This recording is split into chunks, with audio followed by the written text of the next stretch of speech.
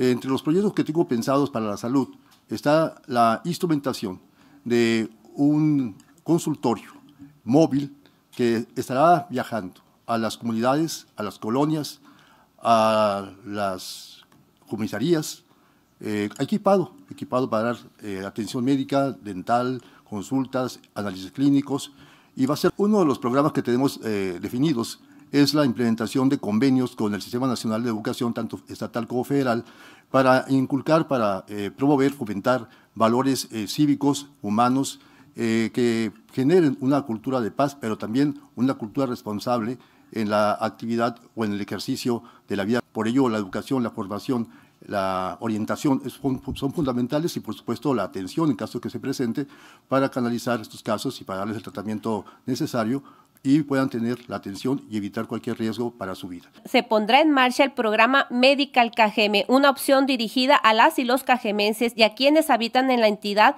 pero no tienen acceso a algún tipo de servicios médicos, para brindarles una educación y una adecuada atención de salud oportuna, gratuita y de calidad. Por esto formaré la Dirección de Desarrollo Humano y Educación, que será por excelencia la que le dará el sentido humano a la administración a través de la Subsecretaría de Desarrollo Social, Organismo Ciudadano, Educación Rural e Indígena y Inclusión y Equidad, Asuntos Religiosos, Juventud y, claro, la coordinación del presupuesto participativo. Aquí se formará la dirección verdaderamente que, que lleve adecuadamente todas las acciones que esto emana, la eh, la Dirección de Cívica y Ética que tiene la firme finalidad de facilitar y mejorar la convivencia de una comunidad y evitar los conflictos escalando eh, productivos, no hacer actos de organización y presencia de eventos cívicos en total desaprovechamiento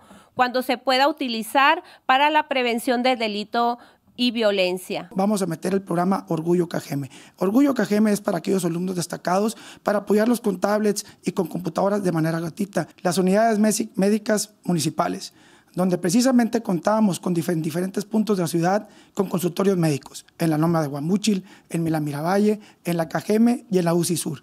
Pero además contábamos con dispensarios médicos básicos que van a volver a todas las comisarías para que tengas la salud cerca de ti. Nos comprometimos a dar 5 mil apoyos mensualmente para las familias más vulnerables. Hacer programas que nos permitan fomentar e inculcar a nuestros niños y jóvenes la participación ciudadana, que, para que cada vez más seamos los ciudadanos los que decidamos el futuro de nuestro municipio. En el caso de, de la salud, eh, es eh, definitivamente en los recorridos que hemos estado haciendo para las colonias y en las, comunidades indígenas, definitivamente estas unidades no funcionan y estoy de acuerdo que debemos de recuperar los eh, dispensarios médicos. Hacer la creación también, que no lo hemos tocado aquí, de un centro de rehabilitación para aquellos que buscan dejar el consumo de drogas con, con énfasis en la integración social y laboral. También la creación de un santuario animal donde se podrán se podrán ser alimentados, desparasitados y esterilizados para resguardo eh, y gestión de, adopción,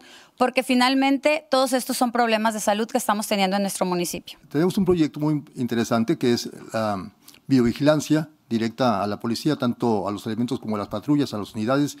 Por otra parte, el fortalecimiento de un centro de operación y seguimiento digital que estará conectado a cámaras de vigilancia y a drones y esto permitirá no solamente vigilar a la policía, sino vigilar las calles y prevenir la delincuencia. Tenemos pensado implementar lo que se llama concepto de gobierno digital.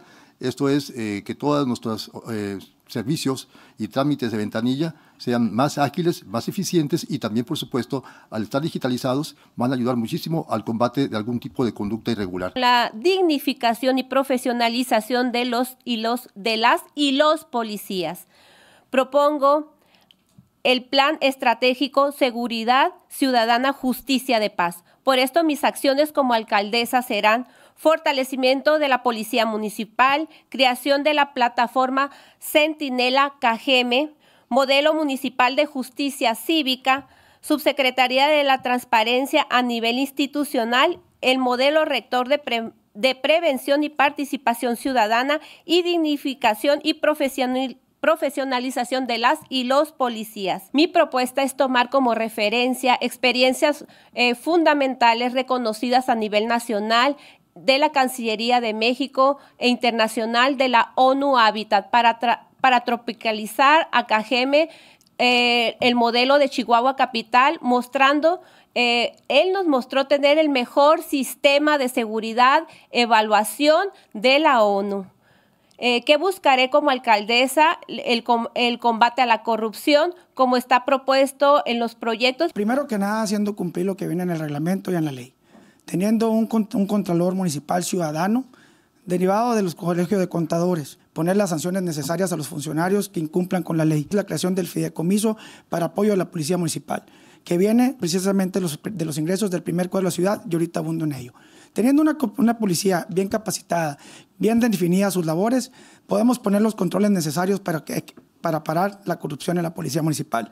Y en las instancias de gobierno, en todas las dependencias, obligar a que los funcionarios respondan en tiempo y forma por transparencia. Implementar todas las medidas de tecnología que se requieran para que realmente nuestros habitantes se sientan seguros. Vamos a crear el Instituto Municipal de Transparencia y de Acceso a la Información y Estadística, donde participen las cámaras, las cámaras empresariales, universidades, organización de la sociedad civil, padres de familia y asociaciones de alumnos. También vamos a crear el Instituto de Combate a la Corrupción, con facultades para solicitar toda la información y hacer las denuncias pertinentes en su caso. Dignificar verdaderamente el sueldo de los policías cajemenses a 23 mil pesos porque eso sí se puede y ya se hizo en Jalisco. Estamos trabajando fuerte en la reconstrucción, rehabilitación y mantenimiento.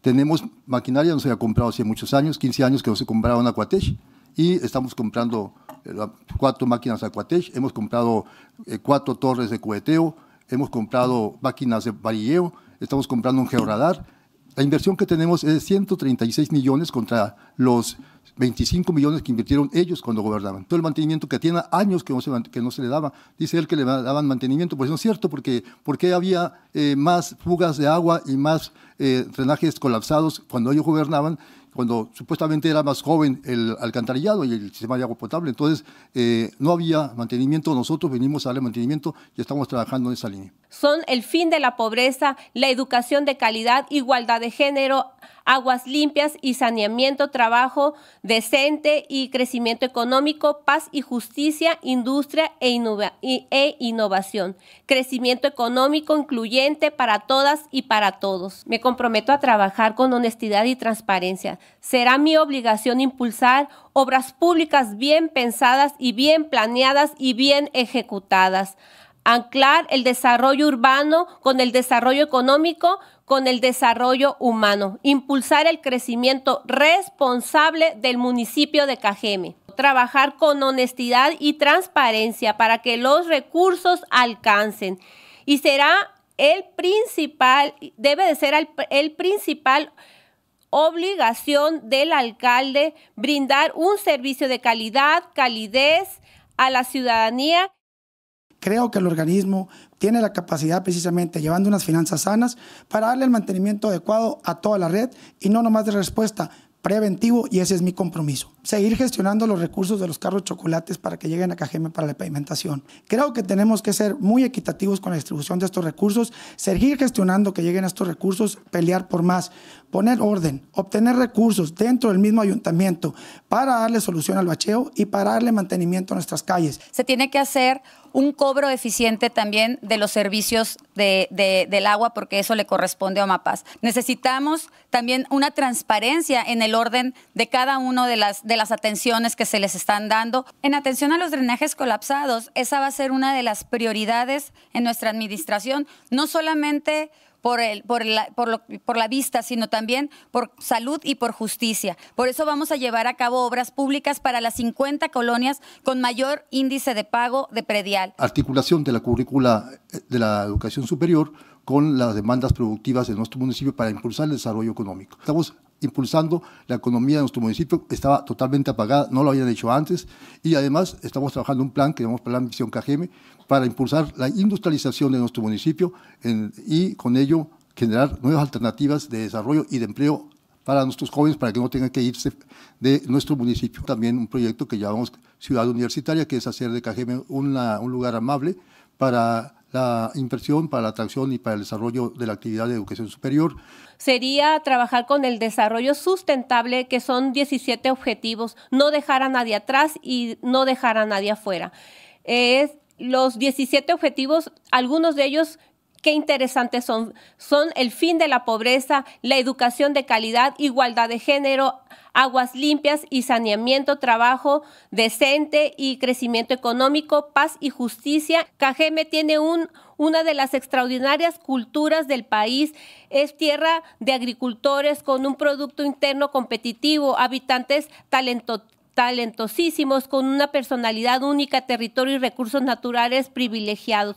No subir el agua, pero además eliminar la tarifa comercial para el pequeño y mediano comerciante. Vamos a facilitar todos los trámites y todos los pagos que se puedan y eliminar la burocracia posible. Realmente buscar esos nichos de oportunidad para sacar adelante a nuestros jóvenes. Actualmente, híjola, una situación muy complicada por muchos motivos. Tenemos que realmente escucharlos y trabajar con ellos y sacarlos adelante. La educación siempre ha sido mi prioridad. Vamos a desarrollar un fondo en el que Afortunadamente ahorita hay muchas empresas que son em, empresas socialmente responsables y organizaciones de la sociedad civil que están asignando recursos pero que no saben hacia dónde dirigirlos para poder tener un desarrollo en nuestros jóvenes, sobre todo que ellos sigan estudiando. Tenemos que buscar las maneras de poder tecnificar al campo y darle un valor agregado a las, a las actividades que ya, se, que ya se realizan en base al, al agua y sobre todo poder crear desarrollo, establecer incentivos y que viene también a la parte de la Agenda 2030 es establecer incentivos a empresas que adopten prácticas de economía circular.